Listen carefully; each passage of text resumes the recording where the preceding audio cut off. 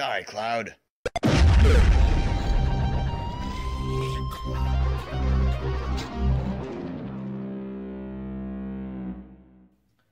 Hey guys, I've been waiting a very long time for this. Now, I don't want to explain the whole story because it's long and stupid. I don't want to bore you to death. But a long time ago, back in 2012, I had a conversation that involved me getting a time machine, taking it five years into the future from then, doing some stupid task, and then going back. But the thing is, I left the time machine five years into the future from then. So that left me without a time machine for those five years. But June 5th, 2017, the time machine theoretically should have come back into this dimension. So, I'm now able to go get it. Now, the thing is, I didn't compensate for spatial movement in, in addition to time movement. So, it is where the Earth was five years ago, which is like 36 billion kilometers or so in some direction. I don't know. But had a different conversation that involved me having a teleporter, and that has been here ever since.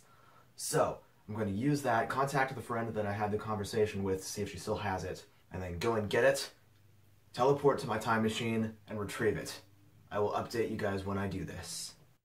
Alright, been informed that the teleporter is hidden in a bag of hot Cheetos in CVS. So I am on my way to go get that.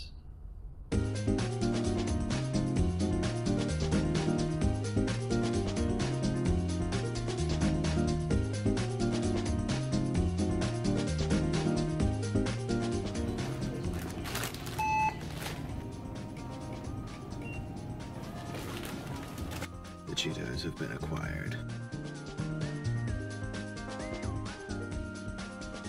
Apparently the teleporter is in here. Obviously it's been shrunken. Um, I've been told that it's like a cross between the TARDIS and Hermione's bag. So I guess I just kind of like,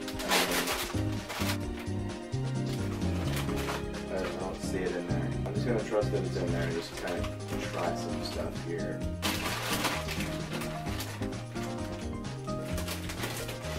Wow.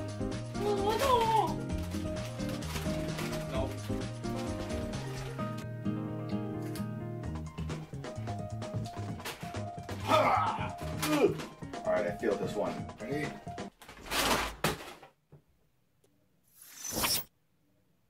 Oh, this is weird. Is that? I think I found it. I found my time machine. Yes. I am now entering the time machine.